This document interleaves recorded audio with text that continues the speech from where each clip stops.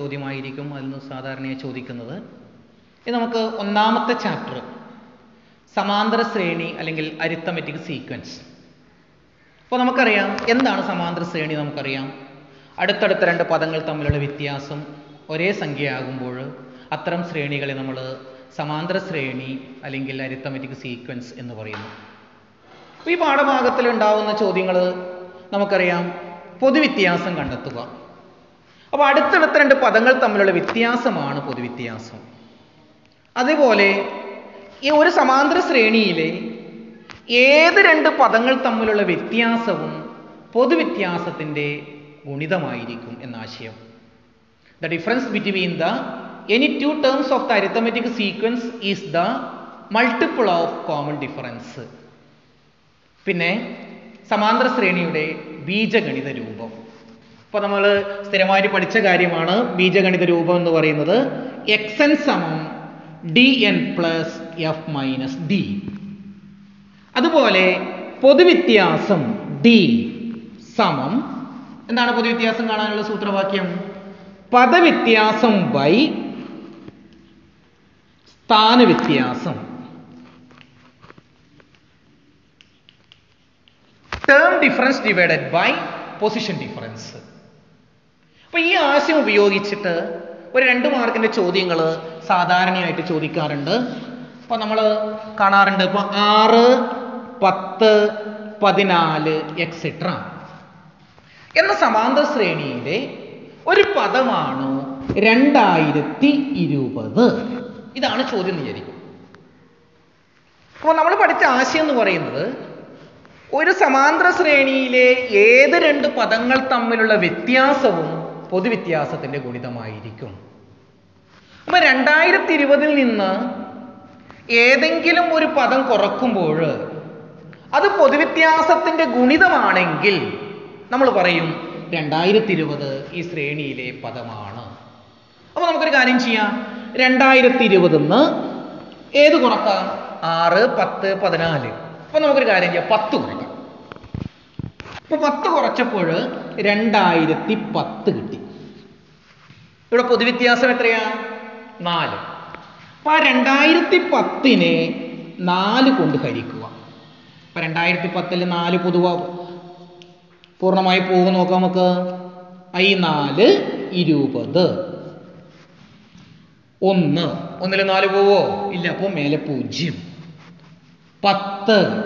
ഇരുനാല് എട്ട്. ഇപ്പോൾ പത്തിൽ നിന്ന് എട്ട് പോയപ്പോൾ റെസിസ്റ്റൻ രണ്ട് കിട്ടി റിമൈൻഡർ രണ്ട് കിട്ടി. അതായത് രണ്ടായിരത്തി പത്ത് ഏതിന്റെ ഗുണിതമല്ല? നാലിന്റെ ഗുണിതമല്ല.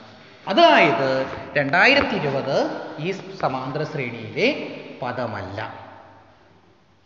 അതുപോലെ ഇത് ചോദിക്കാൻ പറ്റുന്ന മറ്റൊരു ചോദ്യം എന്ന് പറയുന്നത് ഈ ശ്രേണിയിലെ ഏതെങ്കിലും രണ്ട് പദങ്ങൾ തമ്മിലുള്ള വ്യത്യാസം അറുപതാകുമോ? Is sixty the multiple of the difference between the two terms അറുപത് ഏതെങ്കിലും രണ്ട് പദങ്ങൾ തമ്മിലുള്ള വ്യത്യാസമാകുമോ എന്നാണ് ചോദ്യം. അപ്പൊ അറുപത് രണ്ട് പദങ്ങൾ തമ്മിലുള്ള വ്യത്യാസമാകുമോ എന്ന് ചോദിച്ചു കഴിഞ്ഞാൽ ഇവിടെ പൊതുവ്യത്യാസം എത്രയാ? നാല്. നാലിന്റെ ഗുണിതമാണോ അറുപത്? അപ്പൊ അറുപതിന്റെ അറുപതിനെ നാല് കൊണ്ട് ഹരിച്ചു നോക്കാം നമുക്ക്. ഒരു നാല് നാല് ഇരുപതിൽ ഐ നാല് ഇരുപത്. അപ്പൊ നമുക്ക് എന്ത് കിട്ടി? അറുപത് നാലിന്റെ ഗുണിതമാണ്. അതായത് ഏതെങ്കിലും രണ്ട് പദങ്ങളുടെ വ്യത്യാസം അറുപതാകാം. ഇതാണ് മറ്റൊരു ചോദ്യം. പിന്നെ വരുന്നത് ശ്രേണിയുടെ ബീജഗണിത രൂപം. ഇപ്പൊ ശ്രേണിയുടെ ബീജഗണിത രൂപം കാണാനുള്ള ഫോർമുല നമ്മൾ പഠിച്ചു. The algebraic expressions of the arithmetic sequence x n സമം d n plus f minus d ഇവിടെ എഫ് എത്ര? ആറ്. ഇവിടെ ഡി എത്ര? നാല്. എന്താ ബീജഗണിത രൂപം അല്ലെങ്കിൽ എന്നാം പദം കാണാനുള്ള സൂത്രവാക്യം? എക്സ് എൻ സമം d n plus f minus d അതായത് നാല് എൻ പ്ലസ് എഫ് എഫ് എത്ര?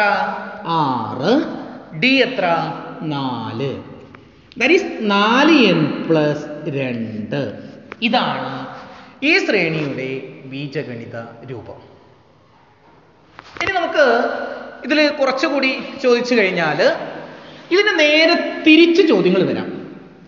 ഒരു സമാന്തര ശ്രേണിയുടെ ബീജഗണിത രൂപം എക്സ് എൻ സമം നാല് എൻ പ്ലസ് മൂന്ന്. The algebraic expressions of the arithmetic sequences four n plus three then എന്താണ് പൊതുവ്യത്യാസം? അല്ലെങ്കിൽ എന്താണ് കോമൺ ഡിഫറൻസ് അപ്പോൾ നമ്മൾ ശ്രദ്ധിക്കേണ്ട കാര്യം നമ്മൾ പഠിച്ചിട്ടുണ്ട് എന്താണ് ബീജഗണിത രൂപം കാണാനുള്ള സൂത്രവാക്യം? D n plus f minus d അപ്പൊ ഡി എൻ അപ്പൊ എന്നിന് മുമ്പുള്ള നമ്പർ എത്രയാ? നാല്.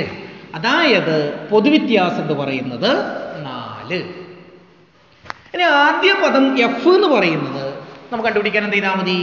എന്ന് പറയുന്നത് എല്ലാ പിന്നെ പദങ്ങളെയും കോമൺ ആയിട്ട് ബന്ധപ്പെടുത്തി കാണിക്കുന്നതാണ്. അപ്പൊ എൻ എന്ന് പറയുന്നത് എന്നിന് പകരം ഒന്ന് കൊടുക്കുക. അപ്പൊ എന്നിന് കൂടെ ഒന്ന് കൊടുത്ത ഒന്നാം പദം കിട്ടും. എന്നിന് പകരം രണ്ട് കൊടുത്ത രണ്ടാം പദം കിട്ടും. അപ്പൊ നമുക്ക് വേണ്ടത് ഒന്നാം പദമാണെങ്കിൽ നാല് ഗുണിക്കണം ഒന്ന് പ്ലസ് മൂന്ന്. ഒരു നാല് നാല്. അപ്പൊ നാലും മൂന്നും ഏഴ്. അതായത് ആദ്യ പദം സമം ഏഴ്. ഇനി കുറച്ചുകൂടി കൂടുതൽ ചോദിച്ചു കഴിഞ്ഞാൽ ഈ ശ്രേണിയുടെ പത്താം പദം എന്ത്? അപ്പൊ ശ്രേണിയുടെ പത്താം പദം ചോദിച്ചു കഴിഞ്ഞാൽ എന്നിന് പകരം എത്ര കൊടുക്കുക പത്ത് കൊടുക്കുക അപ്പൊ പത്താം പദം സമം എക്സ് പത്ത് സമം നാല് ഗുണിക്കണം പത്ത് പ്ലസ് മൂന്ന് നാൽപ്പത്ത് നാൽപ്പത് അപ്പൊ നാൽപ്പത് മൂന്നും നാൽപ്പത്തി മൂന്ന്. അപ്പൊ ഈ ശ്രേണിയുടെ പത്താം പദം നാൽപ്പത്തി മൂന്ന്. ഇതാണ് ചോദിക്കാൻ സാധ്യതയുള്ള മറ്റൊരു ചോദ്യം. പിന്നെ നമ്മൾ നേരത്തെ ഡിസ്കസ് ചെയ്തൊരു കാര്യമുണ്ട്. പൊതുവ്യത്യാസം എന്ന് പറയുന്നത് പദവ്യത്യാസം ബൈ സ്ഥാനവ്യത്യാസമാണ്. ഇപ്പോൾ ചോദിച്ച ഒരു സമാന്തര ശ്രേണിയുടെ നാലാം പദം. പന്ത്രണ്ടും. എട്ടാം പദം ഇരുപതും. ആയാൽ പൊതുവ്യത്യാസം എന്ത്? അപ്പൊ എന്താ പൊതുവ്യത്യാസം കാണാനുള്ള സൂത്രവാക്യം? പദവ്യത്യാസം by സ്ഥാനവ്യത്യാസം term difference divided by position difference that is d സമം ഇരുപത് കുറക്കണം പന്ത്രണ്ട് ബൈ എട്ട് കുറക്കണം നാല്. ഇരുപത് പന്ത്രണ്ട് കുറച്ച് എത്ര? എട്ട്. എട്ടും നാല് കുറച്ചാലോ? നാല്. അപ്പൊ എട്ട് ബൈ നാല് സമം രണ്ട്. അതായത് പൊതുവ്യത്യാസം രണ്ട് കിട്ടി. ഇനി ഇതിൽ ചോദ്യം ചോദിക്കാം ഒന്നാം പദം എന്ത്? അപ്പൊ ഒന്നാം പദം കണ്ടുപിടിക്കണമെങ്കിൽ നമുക്ക് കാര്യം ചെയ്യാം. ഇവിടെ നാലാം പദം എത്ര? പന്ത്രണ്ട്. What is the fourth term twelve what is the first term പന്ത് നാലാം പദത്തിൽ നിന്ന് എത്ര പൊതുവ്യത്യാസം കുറക്കണം? ഒന്നാം പദം കിട്ടാൻ മൂന്ന് പൊതുവ്യത്യാസം. അപ്പോ പന്ത്രണ്ട് കുറക്കണം മൂന്ന് ഗുണിക്കണം രണ്ട്. ഈസ് പന്ത്രണ്ട് കുറക്കണം ആറ്. എത്ര പന്ത്രണ്ട് ആറ് കുറച്ചാൽ ആറ്. അപ്പൊ നമുക്ക് ആദ്യപദം കിട്ടി പൊതുവ്യത്യാസം കിട്ടി. പിന്നെ വേണമെങ്കിൽ നമുക്ക് ഇതിൽ ഇതിൽ കൂടുതലായി ചോദിക്കുന്നത് ബീജഗണിത രൂപം എന്ത്? പത്താം പദം എന്ത്? ഇരുപതാം പദം എന്ത്? ഇപ്പൊ ഏത് ചോദ്യങ്ങളും നമുക്ക് അറ്റൻഡ് ചെയ്യാൻ പറ്റുമല്ലോ? ഇപ്പൊ ശ്രദ്ധിക്കുക പിന്നെ വരുന്നത് ഇതിൽ വരുന്നത് നമുക്കറിയാം എണ്ണൽ സംഖ്യകളുടെ തുക കാണാനുള്ള സൂത്രവാക്യം എന്ത്? എന്താ എണ്ണൽ സംഖ്യകളുടെ തുക കാണാനുള്ള സൂത്രവാക്യം? എൻ എണ്ണ ഒന്ന് മുതൽ എൻ വരെയുള്ള എണ്ണൽ സംഖ്യകളുടെ തുക. That is n into n plus one by two the sum of the first n natural number is equal to n into n plus one by two what is the sum of the odd numbers ഒറ്റ സംഖ്യകളുടെ തുക എന്ത്? N square ഇരട്ട സംഖ്യകളുടെ തുക എന്ത്? What is the sum of the even numbers n into n plus one ഇത് എണ്ണൽ സംഖ്യകളുടെ തുക ഇത് ഒറ്റ സംഖ്യകളുടെ തുക ഇത് ഇരട്ട സംഖ്യകളുടെ തുക.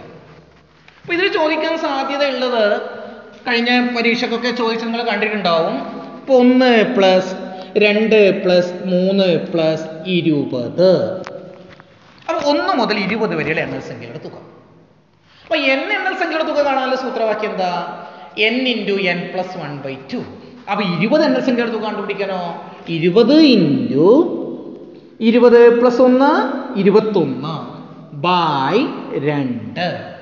രണ്ട് ഇരുപത് എത്ര പ്രാവശ്യം പോവും? പത്ത് പ്രാവശ്യം.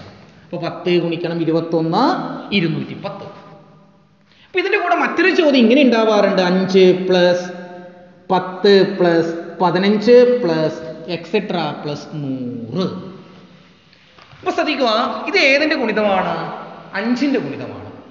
അപ്പൊ അഞ്ച് എല്ലാത്തും അഞ്ചങ്ങ് പുറത്തെടുത്താൽ എന്താ കിട്ടുമോ നോക്കൂ. അപ്പൊ അഞ്ച് പുറത്തെടുത്താൽ taking five one outside then we get എന്ത് കിട്ടും? ഒന്ന്. പിന്നെ രണ്ട്. പിന്നെ മൂന്ന്. പ്ലസ് എക്സെട്ര പ്ലസ് ഇരുപത്. ഇത് ഓൾറെഡി നമുക്ക് കിട്ടിയില്ലേ? എത്ര കിട്ടി നമുക്ക്? ഇരുന്നൂറ്റി പത്ത് കിട്ടി. അപ്പൊ അതിന് ഏത് കൊണ്ട് ഗുണിച്ചാൽ മതി? അഞ്ച് കൊണ്ട് ഗുണിച്ചാൽ മതി. ദാറ്റ് ഈസ് അഞ്ച് ഗുണിക്കണം ഇരുന്നൂറ്റി പത്ത് പൂജ്യം അഞ്ച് ആയി രണ്ട് പത്ത് ആയിരത്തി അമ്പത്. അതേപോലെ ഇപ്പം ആദ്യത്തെ പത്ത് ഒറ്റ സംഖ്യകളുടെ തുക എന്ത്?